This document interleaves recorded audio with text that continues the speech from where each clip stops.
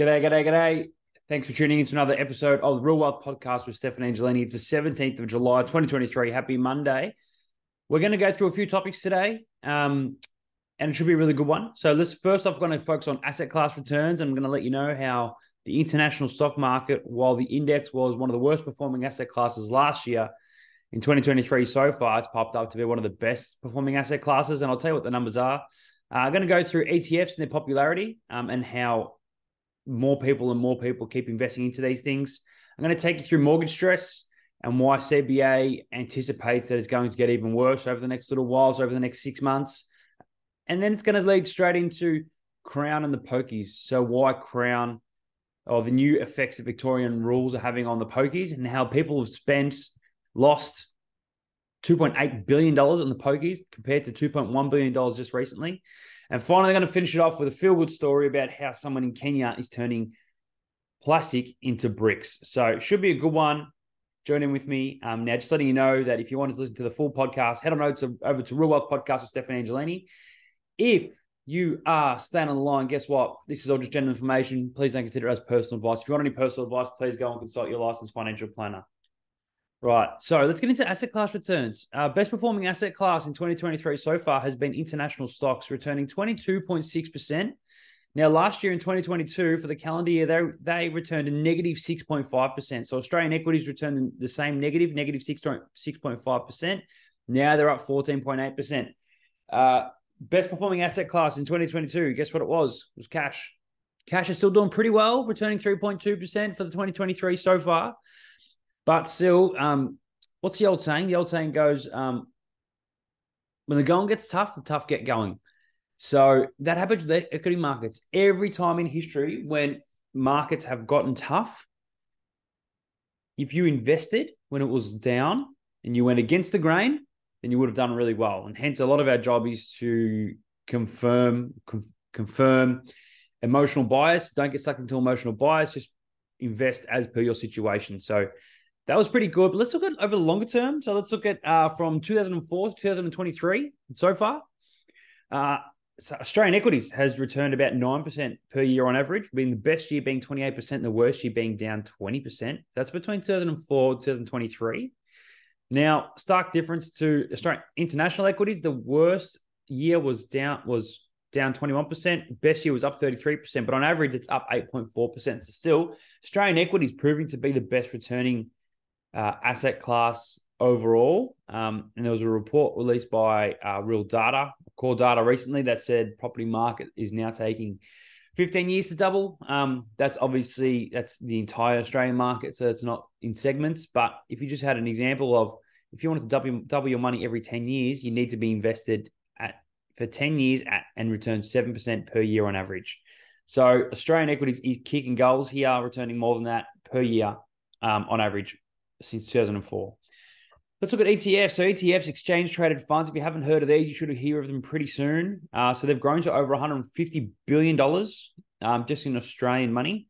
Um, so that's really, really leading the charge. The main three providers are BetaShares, Vanguard, and iShares. They've taken in 1.8 billion, 1.5 billion, and 1.1 billion.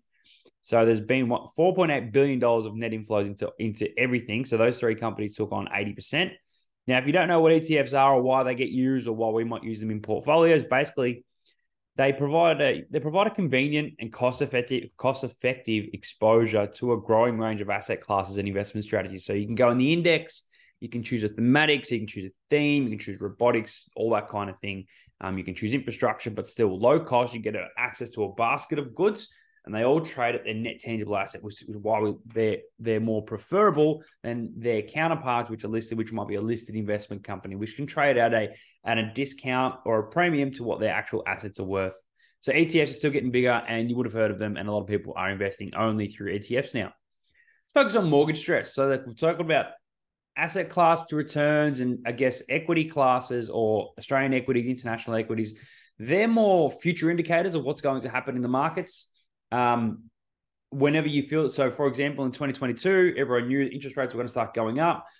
Equity markets started to get hurt a little bit. Um, but now there is a brighter future ahead. But still if you are one of those people with a mortgage things are getting tougher. Says Commonwealth Banks. Commonwealth Bank has said um, mortgage stress will most likely rise in the months to come. They expect mortgage stress to continue to increase in the next six months as things get worse. And what they're basically saying is that look, the cash rate, even if it remains unchanged, things are going to get worse. They feel unemployment is going to increase and go to above 4%, which still isn't that bad. Everybody just letting you know. Um, and inflationary pressures will continue to hold. So that this is coming straight from Chief Executive Officer of uh, Commonwealth Bank, Matt Comyn. Um, and he's saying that he believes, or they believe, only about 60% of the impact of the 12 rate rises so far has flowed through to the Australian economy. And what he's anticipating is that by the end of the year, 85% of the impact of all these rate rises will start flowing through to the economy. So that means you'll see more pressure on households, which means there's going to be further pressure to put the cash rate down um, because more consumers are coming off fixed rate mortgages, people are spending less, energy prices are going up, and situation's just getting a little bit worse. So we'll see what plays out here. But um, yeah, if you've got that mortgage stress, it's not a great thing to have. And a lot of Australians are getting impacted by it now. But what freaks me out, what freaks me out is that even though it is getting tougher to live and everyone can feel it, people are spending more on gambling. Now, if you are a gambler out there, it's cool. It's all right. I don't, I don't mind. But just, I'm just going to give you some numbers. So, gamblers lost $2.8 billion at pokies, clubs, and pubs on the pokies during the 11 months of last financial year. So, not long ago. Now, this is a report or data gathered by Victoria Gambling and Casino Control Commission. The year before, same time from 2021 to 2022, was only $2.1 billion. So, what's that? 700 grand, 246. It's up 30% when it is getting harder to live, which blows my mind. So the Victorian government says, you know, Dan Andrews, not many people like him, but he's doing probably doing something good here. He's got new rules coming into play um, for the crackdown on pokies, just to try and limit the amount that people are losing and the amount of money that these companies uh, are making. And you know, the one beneficiary of this new rule is probably Crown Casino. Uh, so what the new rule says that any venue between 4 a.m. and 10 a.m. 4 a.m. and 10 a.m. cannot have the pokies open in Victoria. They're going to be forced to close the pokies, uh, except for Crown. Crown can do it. That's fine. Uh, but there are restrictions around it. So there's 30,000 electronic gaming machines in Victoria, and they actually have a, have a limit currently, a low limit for cards, and that's $1,000. They're going to decrease this to $100, which is a bit crazy. It's a big drop. Um, and they're going to make all new machines be forced to have a spin rate from increasing the spin rate from 2.1 seconds to three seconds. That means it's going to take longer for people to press the button and to lose the money, which could be really good. Um, the next part about this is what I'm trying to get to is that give me a sec. It's gamblers at South Bank Casino. There's now going to be a mandatory limit on cards, and you need to show your identity to get the limit on your card and you can't break the limit for 24 hours. And you need to take 15 minute breaks every three hours of playing. So there's a whole lot of new rules that are restricting how much people can gamble. How it's going to hold up, I don't know, uh, but it's going to be really interesting to see. So it's good to know that there are things coming into place because gambling addiction is a huge problem in Australia. Finally, I'll finish on a good note. Turning plastic into bricks. So, um, a young lass over in Kenya named uh, Nzambi Matee has opened a company called Gjenge Makers basically what they're doing over there is they're finding getting plastic, single use plastic, which provides, uh, which is a you know a big a big pollutant, um, especially in countries like Kenya where their recycling system is not as great as countries like Australia. Taking that plastic, combining it with sand, turning it into bricks. Bricks can be used for pavers, for house houses, for a whole bunch of things. But getting actual use out of that plastic is amazing. So you might have heard of it already, but I really only heard about it today I think it's fantastic. I say good on her. She's doing a great job.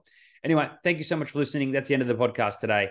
Uh, appreciate you taking the time to listen to us today. I'll come back to you soon with some more updates. Hopefully, get a little bit of financial knowledge. Keep on investing. Cheers.